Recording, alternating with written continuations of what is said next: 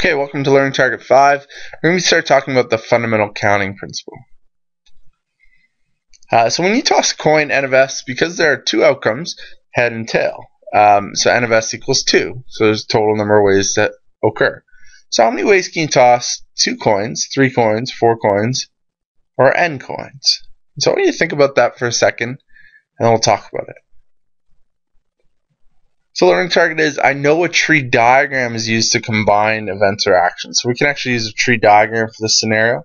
And then we can count pathways by multiplying. And the slot method is a really efficient way to do that to replace the tree diagram. We're going to learn that today.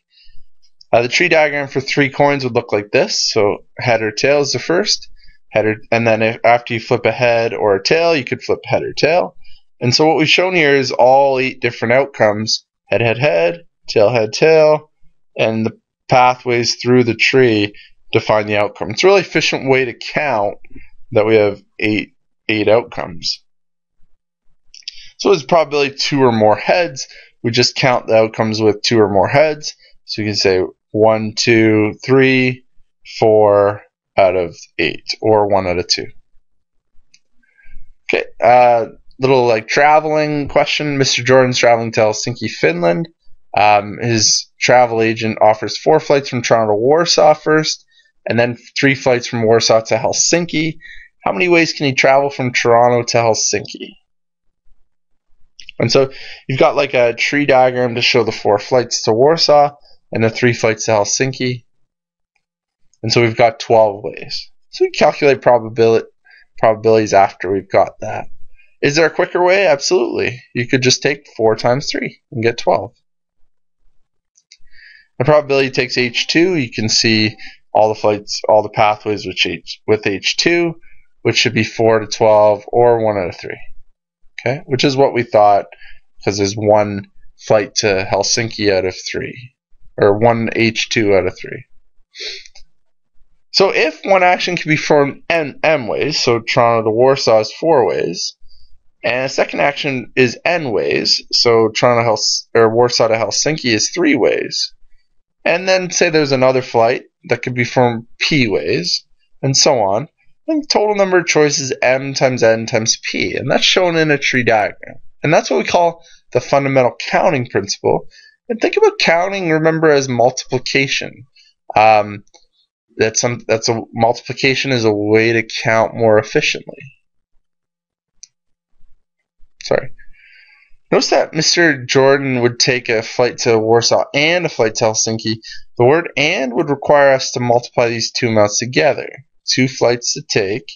We've got two slots. We're going to multiply, and we'll multiply the numbers 3 times 4. And uh, that's actually in the wrong order. It should be uh, 4 times 3. Okay. Because the first way is to, there's four ways for the first flight, three ways for the second.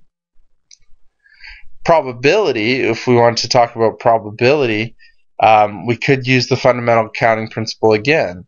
So if you want to take the first flight to Warsaw and one of the last two flights, we can put two slots down. We got one way to do the first flight and two ways to do the next. And so there's 2 out of 12, which is 1 out of 6. You can also draw a tree diagram with probabilities in it, so almost so that you don't have to draw all of the lines. And so if you know you want to go to Warsaw, the first flight, and then one of the last two to Helsinki, we can draw a tree diagram with just those combinations. And on the line, we draw a little probability so that you can multiply. And there'll be a practice question for that. Um, it's going to be the chance of rain question um, where you can actually just draw like there's two opportunities, but it's not an equal chance. So it's a one quarter times two thirds chance. And so we can still just draw the slot method. The probability is one quarter for the first one and two thirds for the second one.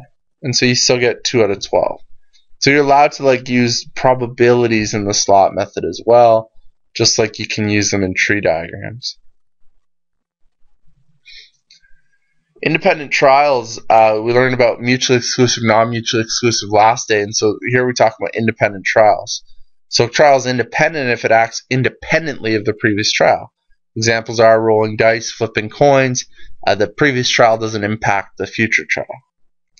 A trial is called dependent if the number of outcomes depends on what has happened before or before or on another trial.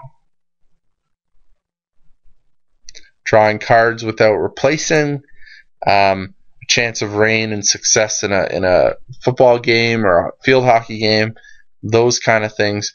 Like you you might be better in the rain or worse in the rain, but if it does come up rain, that will impact the chance that you're going to win. Tree diagrams are very helpful for dependent trials. Um, and slot method two works as well, but um, it just you just want to see what's happening. So example of, of, something like just with the slot method uh, where you've got a restriction. Uh, so this is just really a probability example. Um, we can use the slots uh, to find out um, the number of ways to do president times vice president secretary. If you have to be the president, there's only one way for that to happen. And then since you're already the president, there's 19 people that could be the vice president, 18 people that could be the secretary. In the total ways, which is what N of S is, um, you don't have to be the president. So there's 20 people that could be. 19 ways that we can be the vice president, 18 ways to be the secretary. If we divide those two numbers, 19 times 18 is 342, 20, 19, and 18 is 6840, we get 1 out of 20, which you can see the 19s cancel and the 18s cancel.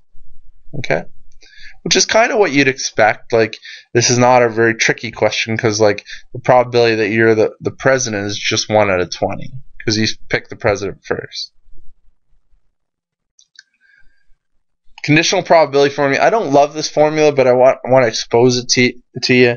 Uh, it's probability of A and B, so the probability that two things happen is the probability that the first thing happens times the probability the second thing happens, probability B, given A has happened.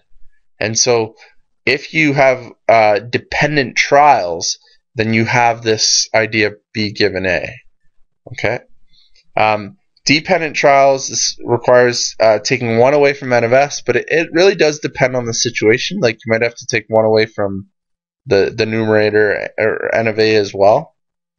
Uh, for independent events, P this this second part is just PB.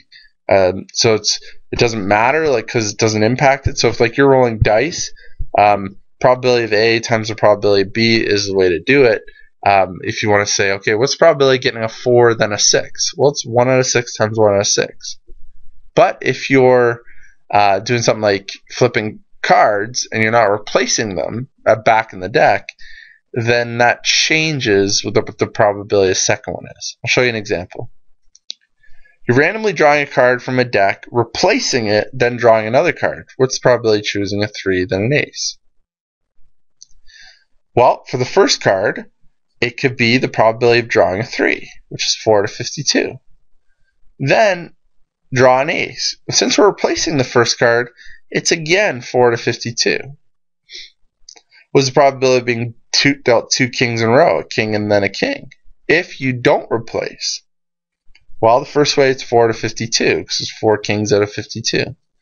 But the second probability is no longer 4 to 52, because there's not 4 kings left in the deck, there's 3. And there's not 52 cards in the deck, there's 51.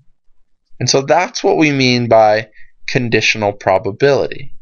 Um, so the that number there, 3 out of 51, is not really the probability of drawing a king, but it's the probability of drawing a king given that you already drew a king. Okay? But I wouldn't worry too much about the formula. It, it does seem to make sense that this is what's happening. Okay?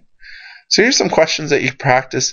Here's the, the, the game where with the rain. It does help to draw a tree diagram here and you can draw a tree diagram to say um, to put and put the probabilities on the lines. Okay, and here this is a good question for the slot method.